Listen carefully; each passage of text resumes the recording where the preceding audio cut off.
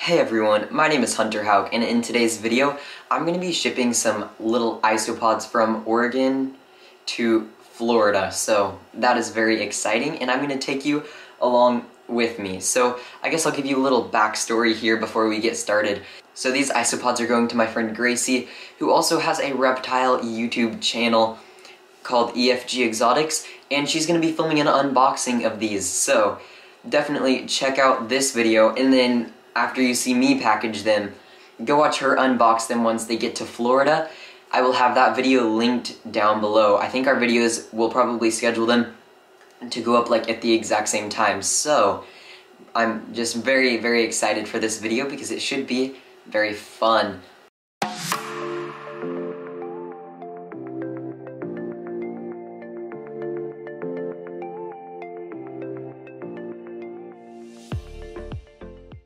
So I have two species of isopods. Porcellio laevis, aka the dairy cow isopod, I think. I'm not good with common names of these little crustaceans. And Armadillidium klugii, which is the Montenegro. Anyways, so my isopods, they just have had lots of little babies. And so I don't really want a ton of isopods. I think they're beautiful and stuff, but I have no plans to like breed them on a larger scale. So my friend Gracie really likes isopods and she just got some new ones and I was like, hey, how would you feel about two new species of isopod for your collection? So she's getting the babies from mine. So they're gonna be kind of tiny so we'll barely be able to see them so it might take a while to pack it up but it should be fun and I'll take you along with me and teach you how I personally am shipping these isopods. Okay, we're gonna start off with the dairy cow isopods.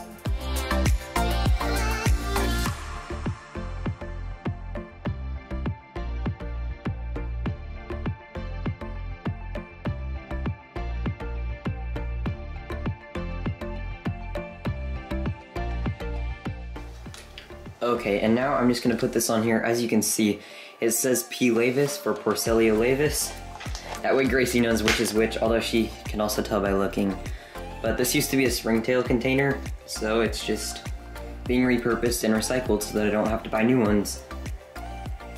So yeah, I guess let's go on to the next one. Here is what the adult Armadillidium klugii looks like. Oh geez, this one doesn't look like it's doing too well. Oh no, it's fine. Never mind. I think it was sleeping or something. Okay, yeah. But anyways, they're a very beautiful species.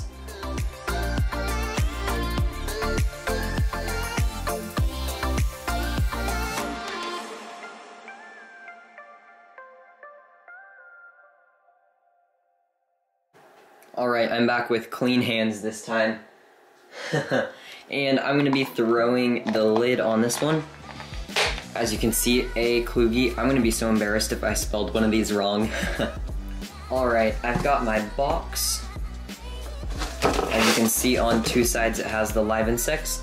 Although we all know they are crustaceans, that's our little secret though. Handle with care. Um, keep at room temp and ring doorbell at delivery.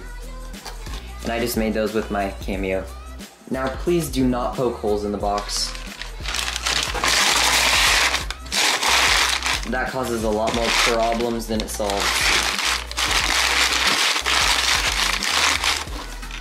And I'm not going to use a heat pack because the weather is great here and as you're aware, it's going to Florida, so it definitely doesn't need a heat pack. So I'm going to put the Kluge in right now. And then I'm going to put more paper as a barrier. And then the Laevis.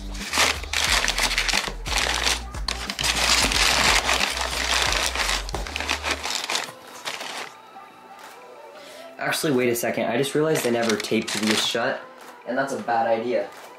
These lids are loose enough that having them not taped is an accident waiting to happen, so...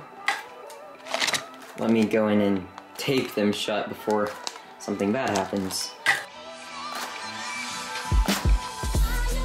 Okay, I got this. Now, I'm gonna do it on the bottom one as well.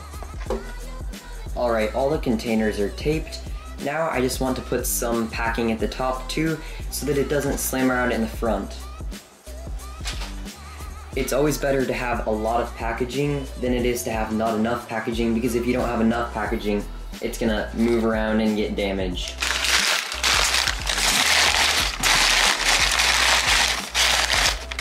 And let's test this out here.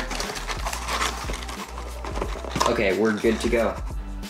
Okay, the last thing I'm gonna do before we pack it up is put this little letter in here, but you don't get to read the letter, that's why it's blurred out, until you go over to Gracie's channel.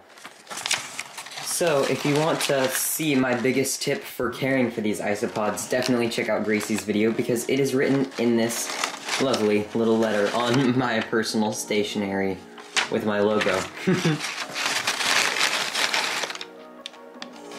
but anyways, without further ado, wrong way, let's close up this box.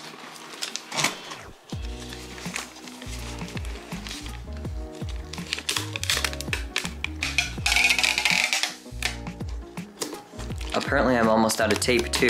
Lovely.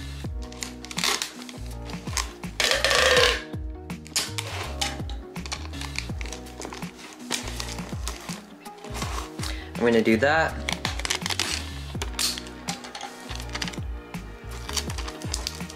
Tape again. And tape again over on this side. It's called the H-tape method, and it's super important that you do that for safety. And on the bottom, it's only taped through, but it's not H-taped, so I'm gonna finish H-taping it.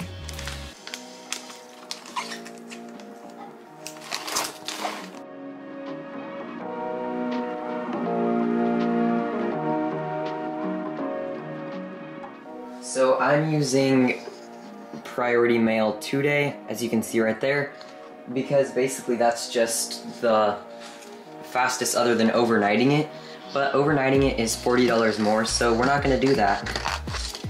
Because they'll be perfectly fine to go for just two days.